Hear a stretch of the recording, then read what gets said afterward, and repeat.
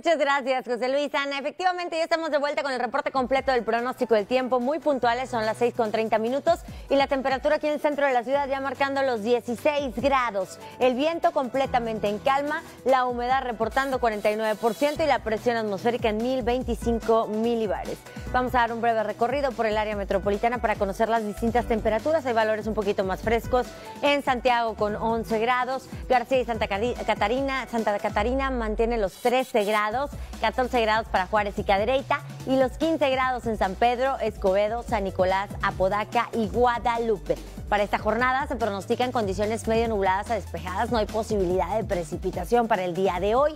La temperatura máxima llegará a los 19 tarde y por la noche el valor descenderá a los 13 grados. Continuaremos con temperaturas cálidas, por así decirse, porque las temperaturas van por encima de los 25, cercanas a los 30 grados. No hay pronóstico de lluvia, así que tendremos ambiente cálido durante la tarde, con valores, como le mencionaba, entre los 24 y los 27, y por la mañana fresco, 11, 16 y 12 grados. Es lo que nos estará marcando el termómetro para los próximos días. Como ya le mencionaba, sin posibilidad de precipitación. Y es que actualmente está dominando dos sistemas de alta presión sobre nuestro país, lo que favorecerá a ausencia en el pronóstico de lluvia y a temperaturas cálidas durante la tarde en la mayor parte de los estados que conforman la República Mexicana. Aquí podemos ver la ausencia de nubosidad, la ausencia en el pronóstico de lluvia gracias a estos dos sistemas de alta presión.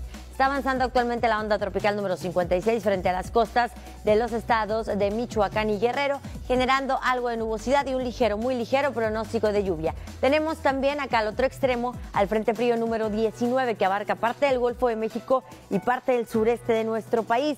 Este frente frío es el que ha dejado a su paso un ambiente fresco por la mañana en los estados de la Mesa Norte y de la Mesa Central, además de presencia de niebla y neblina para las zonas altas de los estados del norte y noreste del país.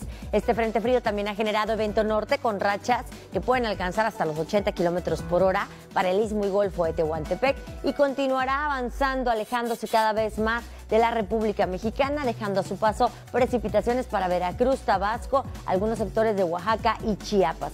El día de hoy estaremos completando un total de luz solar de 10 horas con 39 minutos y la siguiente fase lunar cambia a cuarto creciente el jueves 5 de diciembre. Hasta aquí con mi reporte. Vuelvo más adelante.